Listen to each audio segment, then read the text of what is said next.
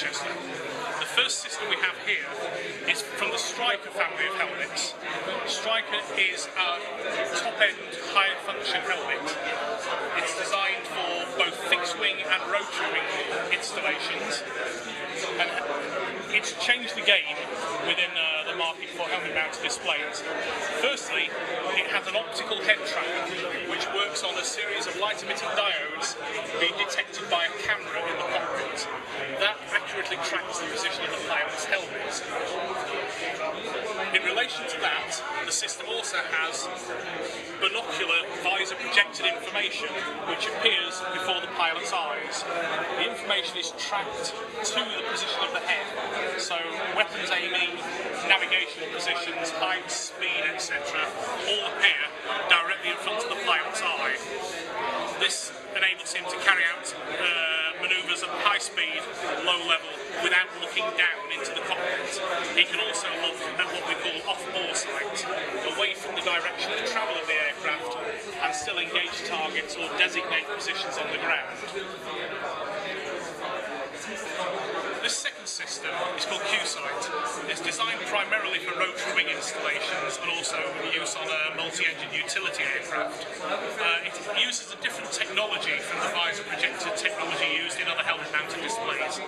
It's based on an optical waveguide and is built into a module that can be installed on any standard aircrew helmet.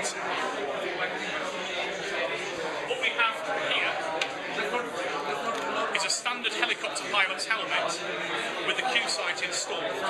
In order to install it on the helmet, we have to attach a small mounting plate on the side and then clip the Q-sight in place on a frangible breakaway mounting which will disconnect during an accident or crash.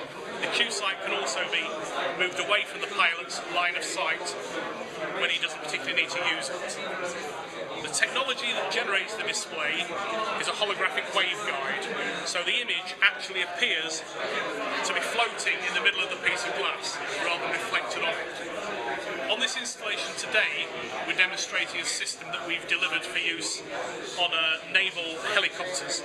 The system is uh, the gunner's remote sighting system, which takes a data feed from the weapon sight and shows it in the operator's line of sight, which means that the uh, weapons operator no longer needs to look directly through the back of the weapon sight.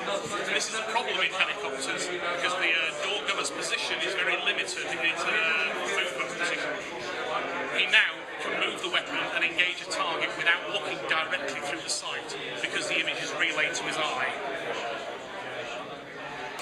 What we're seeing here is the weapon traversing and relaying the image to the gunner's line of sight without the need for the gunner to lean out into the slipstream of the aircraft.